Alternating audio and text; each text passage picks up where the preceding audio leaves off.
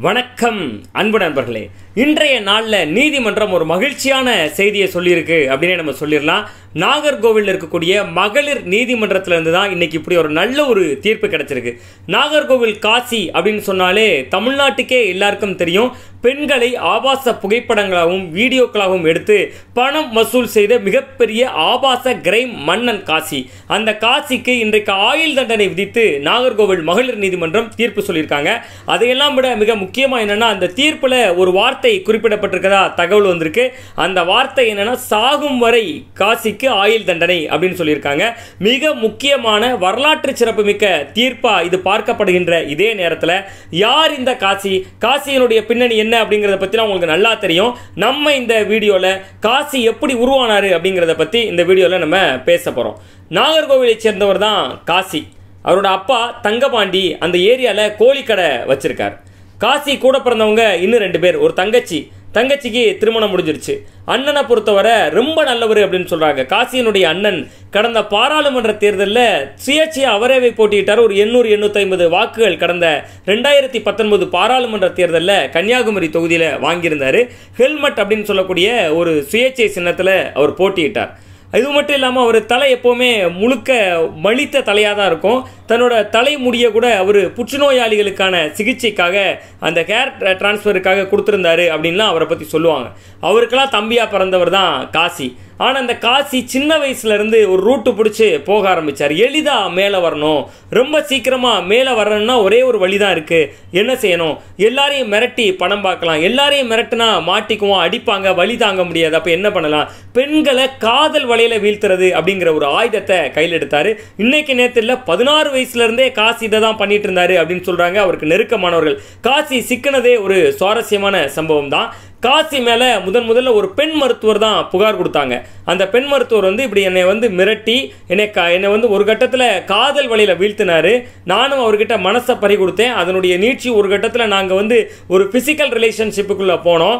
அந்த ரிலேஷன்ஷிப்பையே அப்படியே புகைப்படமாக வீடியோவாக எடுத்து வச்சு என்னை மிரட்டுறாரு அப்படின்னு சொல்லி தான் முதன் முதல்ல ஒரு பெண் மருத்துவர் கொடுத்த புகாரில் தான் காசியை பற்றின தகவல்கள் வெளியில் வந்துச்சு. தொடர்ந்து காசியை பற்றி பலரும் புகார் கொடுக்க ஆரம்பித்தாங்க அந்த பெண் மருத்துவருக்கு முதன் முதல்ல காசியோட எப்போ பழக்கம் ஏற்பட்டு ஏற்பட்டுச்சு அப்படிங்கிறதே ஒரு ரொம்ப ரொம்ப சுவாரஸ்யமான ஒரு சம்பவம் தான் பொள்ளாச்சி சம்பவம் நம்ம எல்லாருக்குமே தெரியும். ஒட்டுமொத்த தமிழ்நாட்டையும் காசி விவகாரத்துக்கு முன்னாடி உழுக்கிற ஒரு சம்பவம் தான் பொள்ளாச்சி சம்பவம் பொள்ளாச்சி பாலியல் விவகாரம். அந்த விவகாரத்தில் பெண்களை வந்து கிரிட்டிசைஸ் பண்ணி காசி ஒரு வீடியோ ரிலீஸ் பண்ணியிருந்திருக்காரு. அவரோட ஃபேஸ்புக்கில் இன்ஸ்டாகிராம் மாதிரியான பேஜஸில் பெண்கள் வந்து ஒழுங்காக இருந்தால் ஏன் இந்த மாதிரி பிரச்சனை வரப்போகுது அப்படின்னு சொல்லி ரொம்ப ஆணாதிக்கத்தோட காசி ஒரு பதிவு போட்டிருந்தாராம். அதுக்கு கீழே தான் அந்த பெண் மருத்துவர் நீ யாருப்பா நீ? இப்படியெல்லாம் நீ பேசுகிற பெண்களை பற்றி உனக்கு என்ன தெரியும்? அப்படின்னு சொல்லி பெண்களுக்கு ஆதரவாக ஒரு பதிவு போட்டிருந்திருக்காங்க. அவ்வளோ போதும் காசிக்கு. அந்த பெண்ணுக்கு ப்ரொஃபைலில் கிளிக் பண்ணி அந்த பெண்ணோட முழு தகவல்களை தெரிஞ்சுட்டு அவரையே காதல் வழியில் வீழ்த்திட்டாரு. அப்படி வீழ்ந்தவங்க தான் அந்த பெண் மருத்துவர். காதல் வழியில் மட்டும் இல்லை இவருடைய சூழ்ச்சி வலையிலையும் வீழ்ந்துட்டாங்க அந்த பெண் மருத்துவர் அப்படிங்கிறத அவங்க போக போக தான் தெரிஞ்சுக்கிட்டாங்க.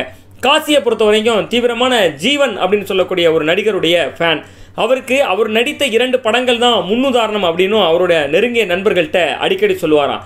அதில் ஒரு படம் பேர் நான் அவன் இல்லை. நான் அவன் இல்லை படத்தில் என்ன செய்வாங்கன்னா ஒவ்வொருத்தரையாக ஏமாத்துவார் ஹீரோ. ஒவ்வொரு பெண்களையா? ஒவ்வொருத்தரையா இல்லை ஒவ்வொரு பெண்களையா நாயகன் ஏமாத்துவார்? ஏமாத்திட்டு கடைசி இன்னொரு பெண்ணை தேடி போயிடுவார். முதல் பெண்ணிட்ட நான் அவன் இல்லை அப்படின்னு நடிச்சிருவாரு. அதுக்கு தான் படத்தினுடைய பெயர் நான் அவன் இல்லை அப்படின்னு சொல்கிறது ஜீவன் நடித்த இன்னொரு படம் காசிக்கு என்ன பிடிக்கும் அப்படின்னு சொல்கிறாங்கன்னா திருட்டு பயலே அப்படின்னு சொல்கிறாங்க அந்த படத்தில் என்ன செய்வார்னா ரகசியமாக கேமரா எடுத்து வீடியோ எடுத்து அவங்களுடைய கணவர்களுக்கு போட்டு காட்டிடுவேன் அல்லது பேரண்ட்ஸுக்கு போட்டு காட்டிடுவேன் மிரட்டுவார் கதையினுடைய நாயகன். அந்த படத்தில் மாளவிகா கூட நடிச்சிருப்பாங்க. இந்த ரெண்டு படத்தையும் தன்னோட வாழ்க்கையிலையும் ரோல் மாடலாக எடுக்க ஆரம்பிச்சிட்டார் காசி அப்படின்னு சொல்கிறாங்க இப்படி காசி மேலே முதன் முதல்ல பெண் மருத்துவர் கொடுத்த புகாரை தொடர்ந்து தான் கிரைம் பிரான்ச் இவரை பற்றி விசாரிக்க ஆரம்பிக்கிறாங்க. தோண்ட தோண்ட மர்மங்கள் மாதிரி இவர் மேலே பெண்கள் புகார்கள் பட்டியல் அடுக்கிக்கிட்டே போகுது. பல வீடியோக்கள் பல புகைப்படங்கள் தொடர்ந்து சோசியல் மீடியாஸில் ரிலீஸ் ஆகிக்கிட்டே போகுது. அப்போ தான் கடந்த ரெண்டாயிரத்தி இருபதாம் ஆண்டில் முதன் முதல்ல நம்ம காசி கைது செய்யப்பட்டார். ரெண்டாயிரத்தி இருபதாம் ஆண்டில் உண்மையிலேயே நம்ம இந்திய அரசினுடைய நீதித்துறைக்கு காவல்துறைக்கும் நம்ம ஒரு சலாம் போடுற ஒரு முக்கியமான விஷயம் இருக்கு. ரெண்டாயிரத்தி இருபதாம் ஆண்டு கைது செய்யப்பட்டு சிறைக்கு போன காசிக்கு கடந்த மூன்றாண்டுகள் அந்த வழக்கு நிலுவையில் இருந்த வரைக்கும் ஜாமீன்கிறதே கொடுக்கல. இந்த நேரத்தில் தான் அந்த வழக்கினுடைய ஆவணங்கள்லாம் தேவை. கிரைம் பிரான்ச்சுக்கு அவங்க எங்கேருந்து எடுக்கிறாங்கன்னா எல்லா ஆவணங்களும் இவர் வச்சிருக்கக்கூடிய லேப்டாப்பில் இருந்துச்சு. அந்த லேப்டாப் எங்கே இருந்துச்சுன்னா தான் பல பெண்களை மிரட்டி எடுத்த ஆபாச புகைப்படங்கள் ஆபாச வீடியோக்கள் எல்லாம் தன்னோட தந்தை தங்கபாண்டியனுடைய கோழிக்கடையில் இருந்து கைப்பற்றாங்க. இதனாலேயே அவருடைய தந்தை தங்கபாண்டியனும் கைது செய்யப்பட்டிருந்தார்.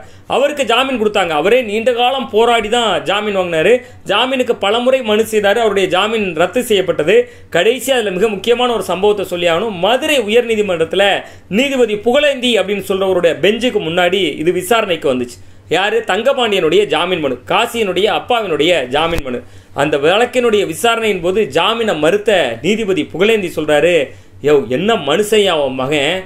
செல்ஃபோனில் மட்டும் பத்தொன்பதாயிரம் ஆபாச படங்கள் வச்சுருக்கான் புகைப்படங்களா? ஐநூறுக்கும் மேலே வீடியோ வச்சுருக்கான். உன்னை வெளியே விட்டா நீ சாட்சிகளை எல்லாம் கலைச்சிடுன்னு சொல்லி தான் முதல் முறை அவருடைய ஜாமீன் ரத்து செய்யப்பட்ட போது ஒரு நீதிபதியே பார்த்து அதிர்ந்து போகின்ற அளவுக்கு காசியினுடைய ஆபாச செயல்பாடுகளும் அந்த விஷயங்களும் இருந்துச்சு அப்படின்னு சொல்கிறாங்க காசி எடுத்த உடனேயே பெரிய பெரிய லெவலில் மிரட்டுற அளவுக்கு வளர்ந்து வந்தானா அப்படின்னு கேட்டால் ஆரம்ப காலத்தில் சின்ன சின்ன விஷயங்களில் தான் முதல்ல தலையிடுவாராம்.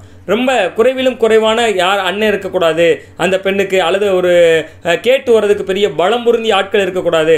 அப்படியே யாராவது வந்தால் கூட கூட்டத்தில் வச்சு அடிக்காதீங்கண்ணே. அசிங்கமாயிருண்ணே. தனியாக கூட்டிகிட்டு போய் அந்த முக்கில் வச்சு என்னை குத்து குத்துன்னு குத்திக்கங்க அப்படின்னு காலில் கூட விழக்கூடிய கேரக்டராக தான் ஆரம்பத்தில் காசி இருந்ததாக சொல்கிறாங்க நான் சொல்கிறது அவருடைய பதின் பருவத்தில். கொஞ்ச நாட்கள் போக போக காசி வந்து பல முறைகேடுகளில் பெண்கள்ட்ட இருந்து அளவுக்கு அதிகமாக பணம் வர ஆரம்பிக்குது. இன்னொரு பக்கம் வட்டி பிஸ்னஸ் வேற பண்ண ஆரம்பிக்கிறார். வட்டிக்கு கொடுத்து வாங்குறாரு. அந்த மாதிரி போலீஸ் வந்து இப்போ வழக்குகள் அவர் மேலே வந்து பெண்களை வன்கொடுமை செய்த வழக்குகள் மட்டுமில்லை அவர் மேலே போஸ்கோ ஆக்ட் இருக்குது போஸ்கோ ஆக்ட்னா பதினெட்டு வயதுக்கு கீழே இருக்கக்கூடிய பெண்களிடம் அத்துமீறுவதற்காக போடக்கூடிய வழக்கு போஸ்கோ ஆக்ட். அந்த போக்சோ சட்டத்தின் கீழும் வழக்கு பதிவு செய்யப்பட்டிருக்கு. காட்சி காசியினுடைய மேலே அதுவும் இப்போ நிலுவையில் இருக்கு. கந்து வட்டியை கொடுத்த வழக்கு நிலுவையில் இருக்கு. இப்படி பல வழக்குகள் அவருக்கு நிலுவையில் இருக்கு. அதே மாதிரி நாகர்கோவிலில் ஒரு வரலாற்று சிறப்பு மிக்க ஒரு வழக்கறிஞர் சங்கம். அந்த வழக்கறிஞர் சங்கம் பாரம்பரியம் மிக்கது அவங்க வந்து கிட்டத்தட்ட இந்த ரெண்டாயிரத்தி இருபதாம் ஆண்டில் ஒரு கண்டன தீர்மானம் போட்டாங்க. இது மனித குலத்துக்கே எதிரான செயல். அந்த தீர்மானத்தில் இருக்கிற வார்த்தையை நான் சொல்கிறேன் மனித குலத்துக்கே எதிரான செயல் காசியினுடைய செயல்பாடு. அதனால எந்த வழக்கறிஞர்களும் நம்ம ஆஜராகக்கூடாதுன்னு ஒரு தீர்மானம் போட்டாங்க. அதெல்லாம் எவ்வளவு வரலாற்று சிறப்பு மிக்க பெண்ணுரிமைக்கான குரல் கொடுக்கக்கூடிய விஷயமா இருந்துச்சு அப்படிங்கிறத பார்க்குறப்ப உண்மையிலே அதெல்லாம் பெருமை அளிக்கக்கூடிய ஒரு விஷயமா தான் இருக்கு. இந்திய நீதித்துறையும் காவல்துறையும் இதை சரியான பார்வையில் துல்லியமான திசையில் இந்த வழக்கை நகர்த்திட்டு போனாங்க அப்படின்னு நம்ம நினைக்கலாம். ஏன் அப்படி சொல்றேன்னா கடந்த ரெண்டாயிரத்தி இருபதுலேருந்து இப்போ ரெண்டாயிரத்தி இருபத்தி மூன்று வரை அந்த கைது செய்யப்பட்ட நாள்லேருந்து காசி ஒரு நாள் கூட வெளி உலகத்தை பார்க்கல. இந்த நிலையில தான் இந்த வழக்கு நாகர்கோவில் மகளிர் நீதிமன்றத்தில் நடந்துட்டு இருந்துச்சு இந்த மகளிர் நீதிமன்றத்தில் இன்றைக்கு தீர்ப்பு கொடுத்துருக்காங்க. ஜாய் அப்படின்னு சொல்லக்கூடிய ஜோசப் ஜாய்ன்னு சொல்லக்கூடிய அந்த மஜிஸ்ட்ரேட் இன்னைக்கு என்ன தீர்ப்பு கொடுத்துருக்காரு அப்படின்னு நீங்கள் பார்த்தீங்கன்னா மிக முக்கியமான ஒரு தீர்ப்பு ஆயுள் தண்டனை கொடுத்துருக்காங்க. காசிக்கு ஆயுள் தண்டனை தானே. அப்போ என்ன ஒரு கொஞ்சம் குறை ஆயுள் வரைக்கும் இருந்துட்டு வந்துருவாரா அப்படின்னு நினைக்கிறீங்கன்னா அவருடைய சாகும் காலம் வரை இந்த ஆயுள் தண்டனையும் கொடுத்துருக்காங்க. சட்டம் காசிக்கு மேல் இடம் கொடுக்கிறது உ- உயர் நீதிமன்றத்திலேயோ மேல்முறையீடு செய்வதற்கெல்லாம் வாய்ப்பு இருக்கிறது. ஆனாலும் ஒரு மனிதன் தான் ஆணவத்தில் ஆடிய ஆட்டத்திற்கு இன்றைக்கு நான்கு கம்பிகளுக்குள் அகப்பட்டு கொண்டு அந்த காசி வந்து எந்த அழகை காட்டி தன்னை வந்து ஒரு ரோமியோவாக ஒரு தன்னை ஒரு காதல் ரெமோவாக காட்டிக்கொண்டு எந்த அழகை காட்டினானோ அந்த அழகு அந்த பாலியம் தீர்கின்ற வரை அவன் சிறையில் இருப்பான் என்பதை விட பெரிய கொடூரமான தண்டனை வேறு எதுவும் இருக்க முடியாதுன்னு நினைக்கிறேன். அந்த வகையில் காசி வளர்ந்த விதமும் காசி தண்டிக்கப்பட்ட விதமும் இதுதான் என்று சொல்லி மீண்டும் ஒரு நல்ல காணொளியில் கிரைம் நிகழ்வில் உங்களை சந்திக்கிறேன். நன்றி வணக்கம்.